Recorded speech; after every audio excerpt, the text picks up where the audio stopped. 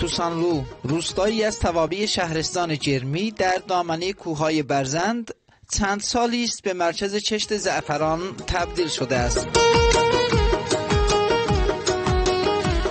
اهالی این روستا قبل از طلوع آفتاب در مزرعه حاضر می شوند تا گلهای زعفران را قبل از پژمرده شدن بچینند. روزانه 70 تا 80 نفر بس برداشت گل زعفران رو داریم. منطقه برزند به دلیل چشت زعفران قطب طلای سرخ در اردبیل لقب گرفته. ما از ساعت هفت صبح تا ساعت پنج بعد از ظهر روزانه میاییم و کار می‌کنیم تا اینکه حدودا 20 یا 25 کیلو گل زعفران جمع می‌کنیم. سطح چشت زعفران در شهرستان جرمی 21 هکتار می باشه پس از انتقال گلها از مزارع در کمترین زمان ممکن باید اقدام به جداسازی کلاله از سایر اجزای گل نمود. پنج تا پایگاه داریم به صورت تعاونی گل پاش می‌کنیم. هر پایگاه هم 100 تا 130 خانوار مشغول به کار هستند.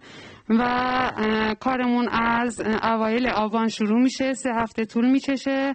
هر خانوارم به صورت معمول ده تا هفت کیلو گل پاک می‌کنن روزانه. فرمانداری شهرستان به اتفاق و همکاری زاد کشاورزی آمادگی اعطای تحصیلات ارزان قیمت 4 درصد به مجریان تر را دارد. با توجه به اینکه اکثر مناطق زمین های کشاورزی شهرستان به صورت دیم بوده ولی و به همین خاطر و برای ارزش افزوده زعفران و و بهرهوری بیشتر توصیه میشه کشاورزان بیشتر به جهان دارویی از جمله زعفران رو بیاورند. پیش بینی می شود از سطح مزارع شهرستان جرمی بیش از 80 کیلو زعفران برداشت شود. رضا عطایی خبرگزاری صدا و سیما شهرستان جرمی.